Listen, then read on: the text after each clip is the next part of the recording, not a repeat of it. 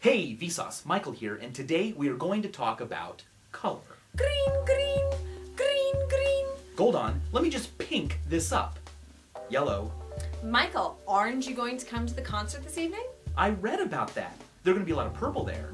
I didn't tell you about this earlier. Well, look, I have to go brown town first, but I'll be white black. Colors. Did you know that the human eye can differentiate 10 million different colors? But what color is a mirror? You might say silver because mirrors are often illustrated that way. And to be sure, they are made out of silver or silvery things like aluminum. But a mirror, in reality, is whatever color you point it at. In this green room, the mirror is green. And if you look inside a mirror, it becomes you colored. An object is whatever color it doesn't absorb. These sticky notes are orange because when hit with typical white light, they absorb every other wavelength of visible light except for orange, which they diffuse into your eyeballs. But a perfect mirror reflects all colors equally. So in a way, you could say that a mirror is white.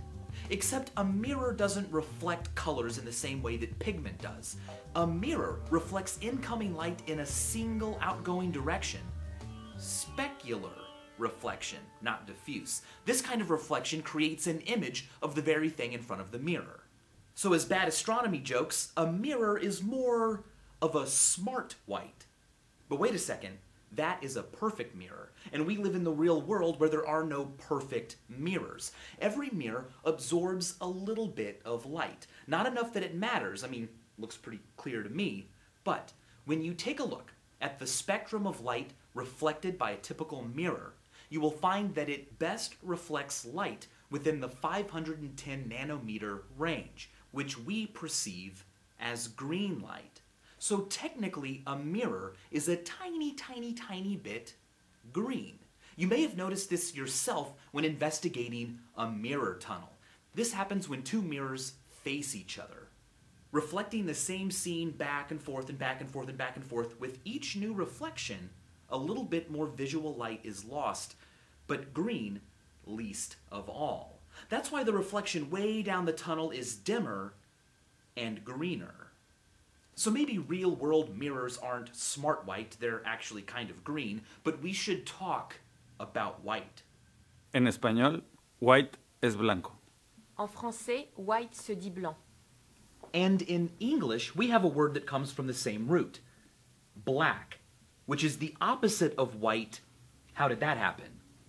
Well, it turns out that all of those words come from the same ancient Proto Indo European root word, bhleg which meant shine, burn, flash. Some languages took it to mean the brightness of the flash, white, while others took it to mean what's left behind, the burned black darkness.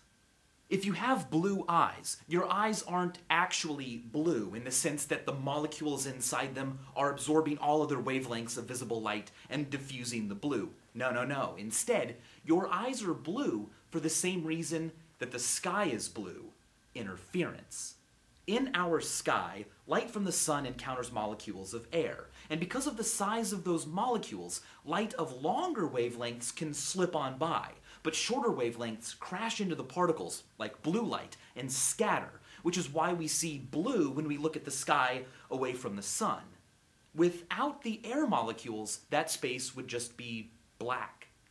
And when direct sunlight has to travel through a lot of air, almost all the colors get scattered out except for the longest wavelengths, the red, which is what gives a sunrise and a sunset their color.